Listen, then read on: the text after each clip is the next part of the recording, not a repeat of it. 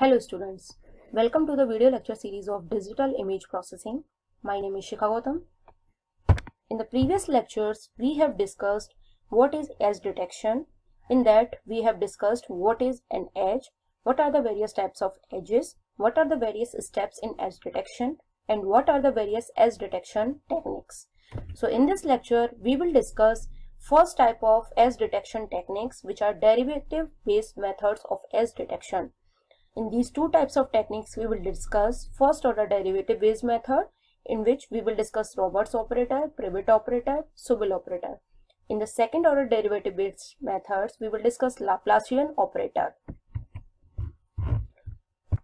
As we have already know, an edge is the boundary between two regions having distinct intensity or gray level. So as we have already discussed this example, but I will again discuss this example to make it more clear. So uh, we can see two types of images over there. In the first case, an edge is where we can see the transition from darker region to brighter region and again brighter region to darker region. That means an edge is the boundary between the sub-region. As we can see, this is a boundary between these two regions and this is the boundary between these two regions. In the second image, we can see the transition from brighter side to darker and darker to brighter side. So we can see these are the edges which are dividing these two regions. Okay, so these example contain the sharp step edges, sharp changes. That means step edges. We have already discussed type of edges in the last lecture. Okay, so uh, as we already say, as I have already said that uh, here we have modeled this transition as a gradual transition because uh, it is uh, we are not considering them as a sharp changes because due to the sampling and quantization all the abrupt transition converted to such a gradual transition इसीलिए जो हमने intensity profile दिखाई है तो इस intensity profile में हमने जो transition है वो gradual transition दिखाया है उसे हमने sharp transition नहीं दिखाया है okay that means if i try to draw the intensity profile along the horizontal line so it will be looking like so so, एक और बार देख लेते हैं तो यहाँ पे हम देख रहे हैं कि भाई हमने चलना स्टार्ट किया इंटेंसिटी वैल्यू हमने देखी तो हमने डार्क वैल्यूज़ से हम मूव कर रहे हैं ग्रेजुअल चेंजेस दिखाया हमने ब्राइट वैल्यूज़ की तरफ़, और इधर हमने देखा तो यहाँ कोई चेंज नहीं हो रहा इंटेंसिटी वैल्यू पे वैल्यू कॉन्स्टेंट है। उसके बाद हमारा ट्रांजिशन हो रहा है from brighter values to darker values इस इमेज में देखते हैं तो यहाँ पे हाई वैल्यूज़ हैं ग्रे लेवल वैल्यू उससे ट्रांजिशन हुआ ट्रांजिशन हो रहा है डार्कर वैल्यूज़ की तरफ़, यानी कि grey level low grey level values की तरफ़ then we are moving forward तो ये जो ट्रांजिशन हो रहा है ग्रेजुअल चेंज हो रहा है, वो किधर ले जा रहा है? ब्राइटर ट्रांजिशन की तरफ़. So this is all about intensity profile first derivative में क्या हो रहा है?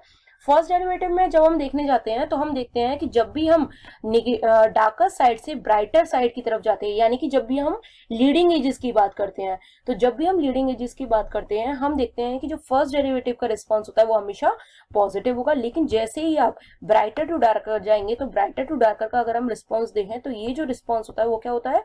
पॉजिटिव टू निगेटिव होता है। उसके बाद फिर से देखते हैं कि हमने तो यहाँ से हमने मूव किया तो ये हमारा फिर से डार्कर साइड है इमेज का। यानी कि first derivative is positive at the leading edge and negative edge the training edge and zero in the in the case of the constant grey level तो जहाँ भी कॉन्स्टेंट ग्रे लेवल है, वहाँ पे अगर हम देखें तो यहाँ पे देखें, ये ज़ीरो है। तो ये जो ग्रे लेवल है कांस्टेंट है, यहाँ पे वैल्यू चेंज नहीं हो रही है। तो यहाँ पे इसका जो रिस्पॉन्स है, वो हमेशा ज़ीरो आएगा। इसी तरह यहाँ पे देखें तो अगर हम देखते हैं कि भाई darker to sorry brighter to darker जा रहे हैं, यानी कि कैसा रिस्पॉन्स आएगा? अगर आप ब्राइटर टू डार्कर जाते हैं तो ये रिस्पॉन्स आएगा ट्रेलिंग एज यानी कि ये रिस्पॉन्स निगेटिव होगा। उसका जब आप डार्क टू ब्राइटर साइड में जाएँगे तो ये रिस्पॉन्स कैसा आएगा? पॉजिटिव क्योंकि ये लीडिंग एज है हमारी। और जहाँ पे आपका चेंज नहीं हो रही इंटेंसिटी उसका रिस्पॉन्स क्या रहेगा? ज़ीरो रहेगा।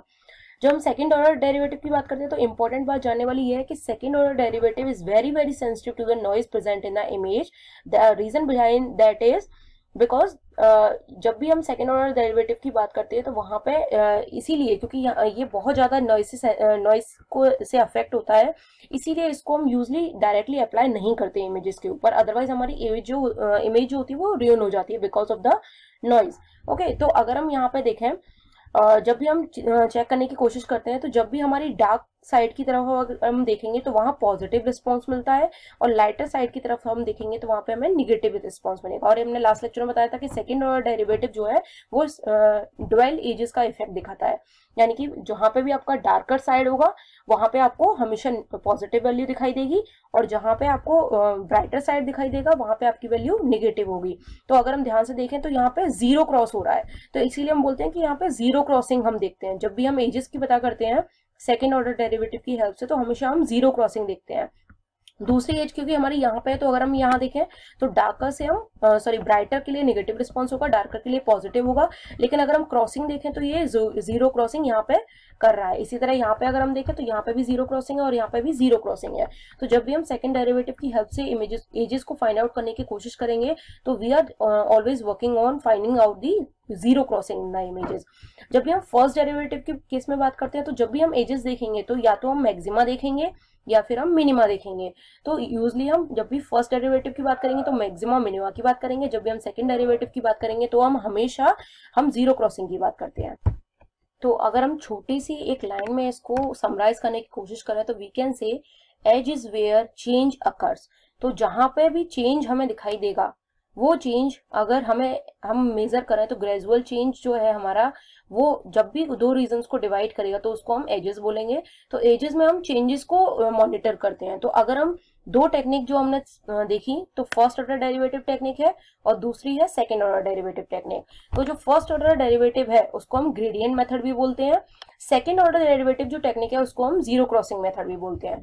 जब भी हम फ़र्स्ट ऑर्डर डेरिवेटिव मेथड से किसी एजेस को फाइंड आउट करने की कोशिश करेंगे then we will looking for local maxima and minima लेकिन जब हम ज़ीरो सेकेंड ऑर्डर डेरिवेटिव की बात करते हैं तो हम हमेशा ज़ीरो क्रॉसिंग्स को देखते हैं। इसका मतलब कि जब हम सेकेंड ऑर्डर डेरिवेटिव की बात करते हैं तो जैसा कि हमने लास्ट एग्जांपल से भी देखा कि सेकेंड ऑर्डर डेरिवेटिव में क्या होता है कि जब भी आपकी इंटेंसिटी कांस्टेंट रहेगी तो जब भी रिस्पॉन्स आएगा, वो ज़ीरो आएगा। लेकिन जैसे ही आपकी इंटेंसिटी चेंज होगी, हमेशा शार्प ट्रांजिशन देखेंगे, जहाँ पे आप ज़ीरो क्रॉसिंग ज़रूर देखेंगे।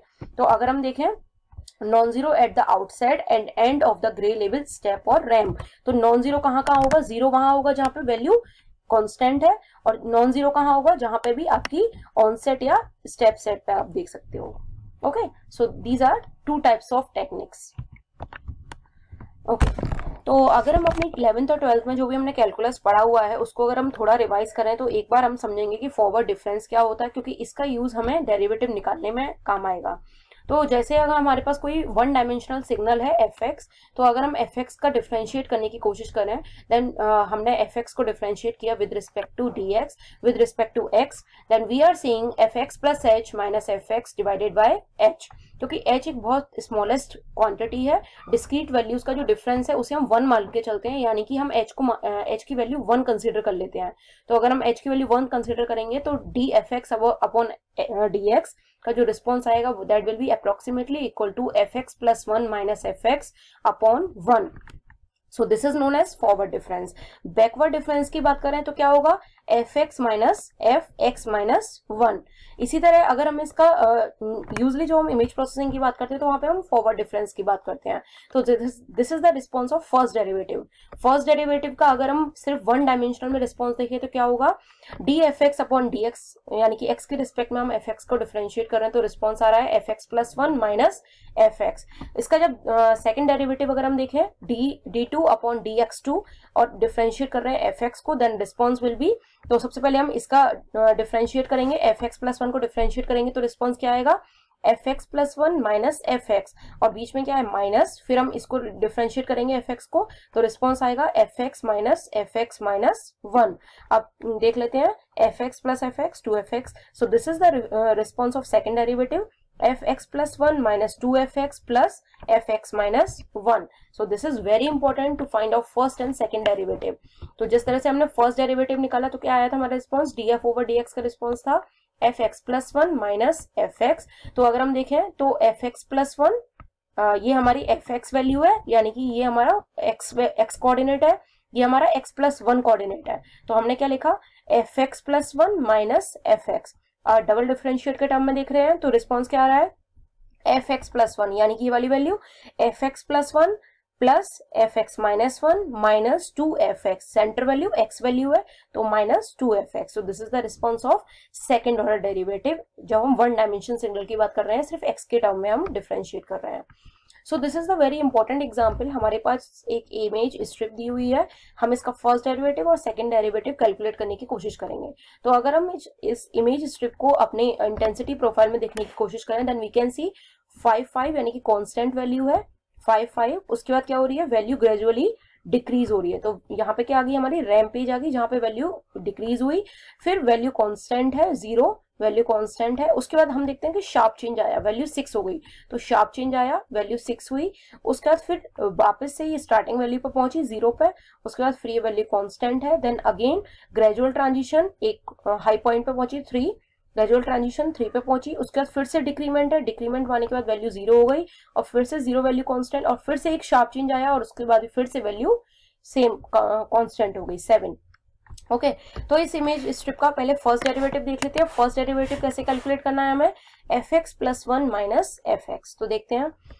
Five minus five minus five तो uh, इसको कंसिडर नहीं कर रहे अभी। ज़ीरो ज़ीरो है वैल्यू फोर माइनस फाइव तो minus one three minus four minus one two minus three minus one in the same way one minus two minus one zero minus one minus one zero minus zero zero zero minus zero zero six minus zero six. Zero minus six minus six. Zero minus zero zero. तो in the same way हम higher value f x plus one value को f x value से minus uh, कर देंगे। तो f x plus one minus f x कर देंगे। तो इससे हमारा फ़र्स्ट डेरिवेटिव मिल जाएगा। सेकंड डेरिवेटिव कैसे मिलेगा?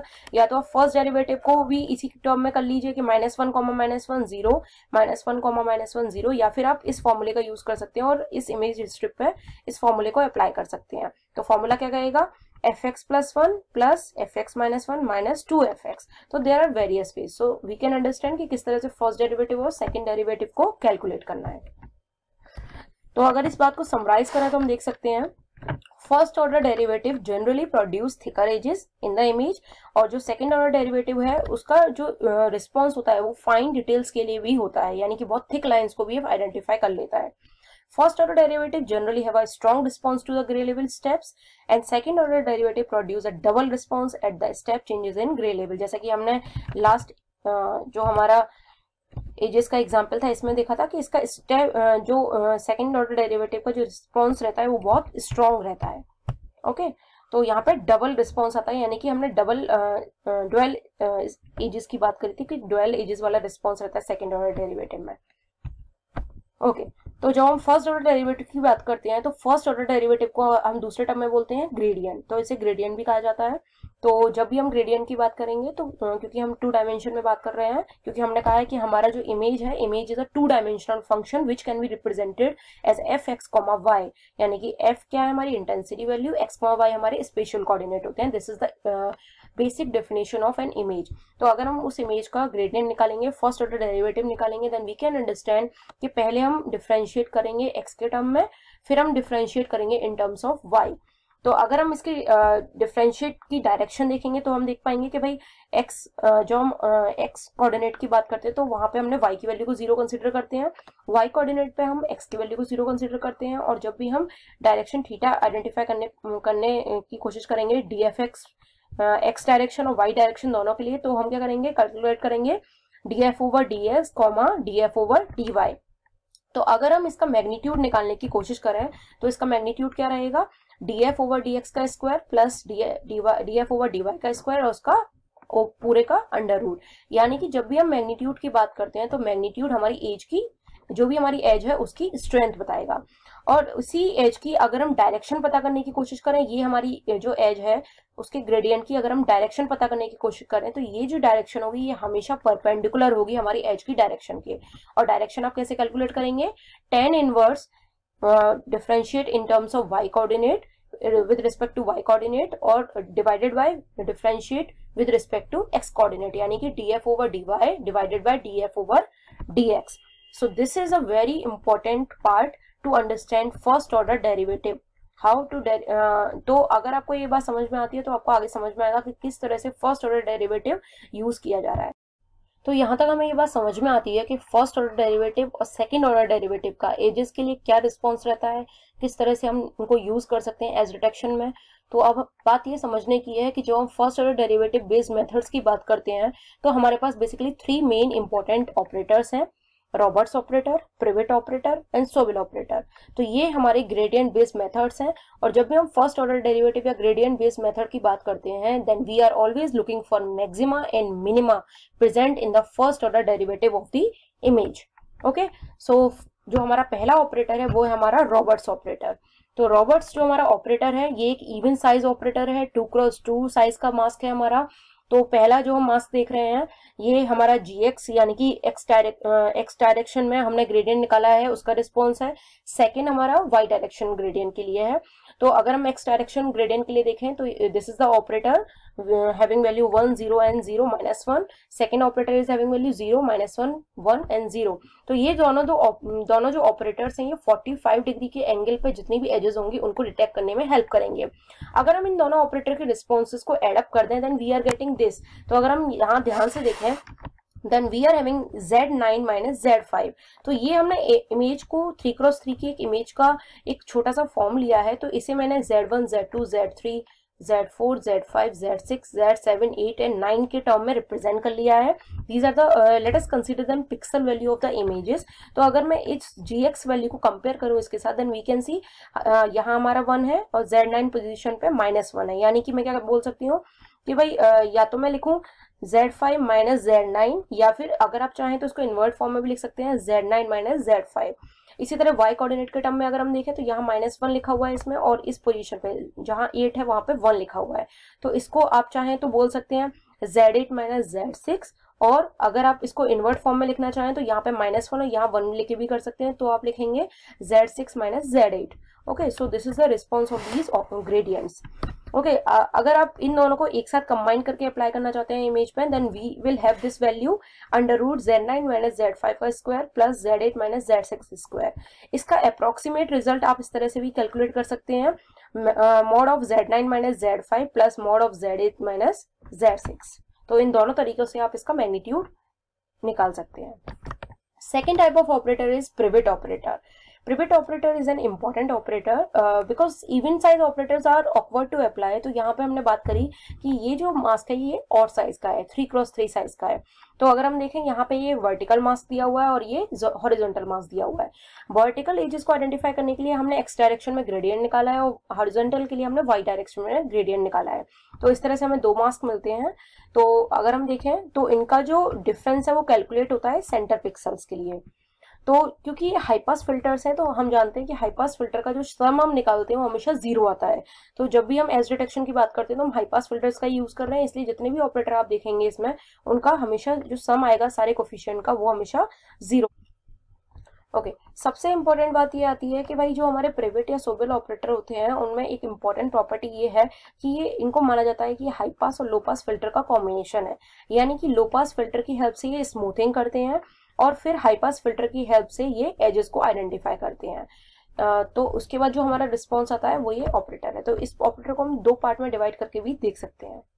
So this is the response of combining both g x and g y both the gradient then this is the response of this Prewitt operator on this image which is given over the images of pyramid and this is the response of Prewitt operator Next type of, of operator is Sobel operator.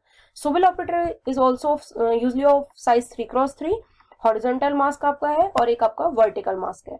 Shovel operator में सबसे important और अच्छी बात यह है कि ये हमेशा एवरेजिंग इफ़ेक्ट देता है ओवर द इमेजेस इसलिए इसका मतलब क्या है? एवरेजिंग इफ़ेक्ट का फ़ायदा ये होता है कि इमेजेस में अगर नॉइज़ भी प्रेजेंट है तो उसको भी ये संभाल लेता है। So this is a very important property of Sobel operator we can see the response in x direction we can see the response in y direction of Sobel operator and if we combine uh, this response and we can find out the mag, uh, magnitude of this operator आप चाहें तो कोई threshold value apply करके भी result generate कर सकते हैं and we can see this result the result of the magnitude of this Sobel operator this is the result of this magnitude अगर आप कोई थ्रेशोल्ड वैल्यू अपने एप्लीकेशन uh, के बेसिस पे आप अगर आप चाहते हैं कि कोई थ्रेशोल्ड वैल्यू है कोई पर्टिकुलर वैल्यू से ज़्यादा वैल्यू हो तो ही वो एजेस हमें दिखाई दें अदरवाइज़ दिखाई ना दें। तो ये थ्रेश वैल्यू आपके एप्लीकेशन पर डिपेंड करेगी। तो यहाँ जो वैल्यू ली गई है, वो हंड्रेड ली गई है। तो इस पर्टिकुलर जो रिज़ल्ट आया था, उसमें हमने थ्रेश लगाई कि भाई हंड्रेड से बड़ी जो वैल्यूज़ है, वही हमें एजेस यहाँ पे दिखाई दें। अदरवाइज़ जिनका मैग्नीट्यूड हंड्रेड से बड़ा या इक्वल है, वो हमें दिखाई दें इस रिज़ल्ट में तो वो आपको दिखाई दे रही है। So this is the result of threshold this is the other response तो अगर हम इस इमेज को देखें तो एक्स डायरेक्शन में रिस्पॉन्स वाई डायरेक्शन में response using Sobel operator and this is the response using the response of both type of operator in x direction as well as in y direction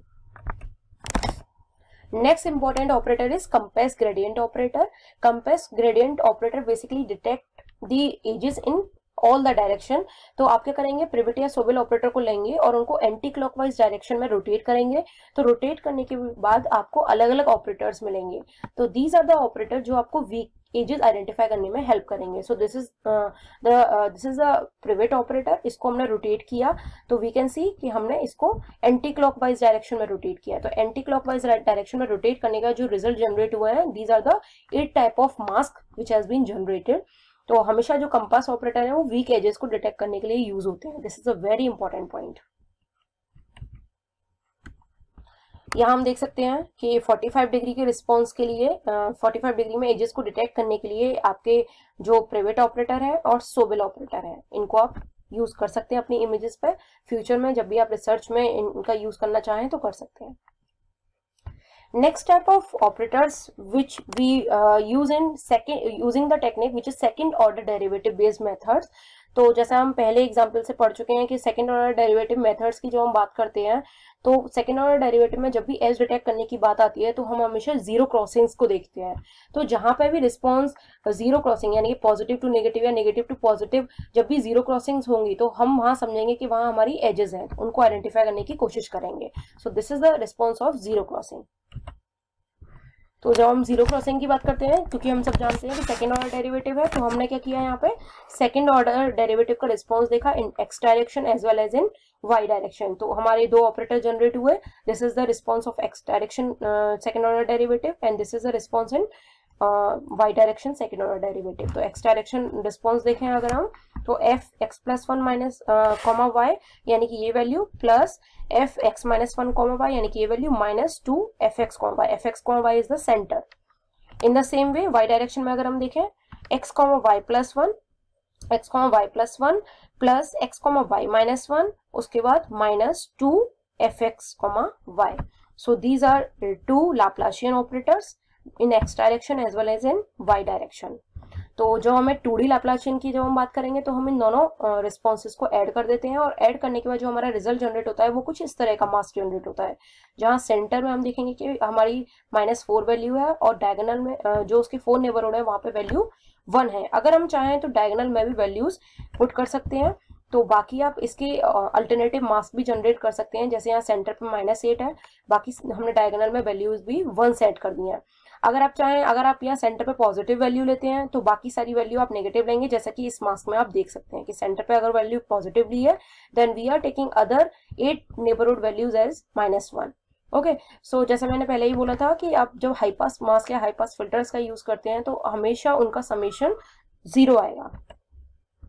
Okay so we already know this. Uh, the second order derivative give double edge effect. तो जब भी आप transition देखेंगे तो transition अगर अगर हम देखते हैं लाइट टू डार्क हुआ तो वहाँ पे भी हमने ट्रांजिशन देखा और bright to darker to brighter region अगर हम ट्रांजिशन देखेंगे तो वहाँ पे भी हमने रिस्पॉन्स देखा था सेकेंड ऑर्डर डेरिवेटिव का।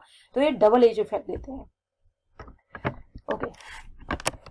So second order derivative is a derivative operator. It highlights gray level discontinuities in an image. It de-emphasizes regions which is slowly varying gray level values. We have already discussed this. Tends to produce images that have greyish edge line edge lines तो ये जो edges देगा वो greyish form में होगी discontinuities all superimpose on the dark and it will also give featureless background तो यहाँ हम रिस्पॉन्स देख सकते हैं इस लाप्लाशियन ऑपरेटर का दिस इज़ एन इमेज ये हम जो इमेज देख रहे हैं, ये हमारा जो हमने लाप्लाशियन ऑपरेटर अप्लाई किया विच इज़ हमारा 90 डिग्री आइसोट्रोपिक है। आइसोट्रोपिक का मतलब क्या होता है कि आप चाहे पहले फ़िल्टर को रोटेट कर लीजिए, फिर इमेज पे अप्लाई करिए, या इमेज को रोटेट करके उस पर फ़िल्टर अप्लाई करिए, आपका रिस्पॉन्स सेम रहेगा। इसीलिए बोला जाता है कि लाप्लाशियन ऑपरेटर आपका आइसोट्रोपिक ऑपरेटर है।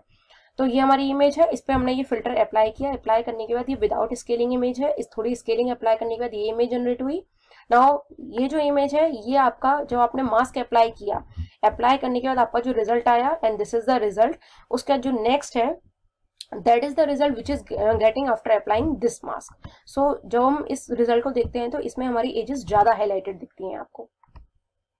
So we will look into the properties of Laplacian तो जैसे हम सब लोग जानते हैं कि डबल एज इफ़ेक्ट तो देगा ही है उसके साथ साथ it determine whether a pixel lies on the dark side और lighter side of the edges so this is a very important property of Laplacian operator Laplacian operator किसी भी पिक्सल के लिए डिटरमाइन कर पाएगा कि वो ब्राइटर साइड में है या लाइटर साइड में है एजेस के।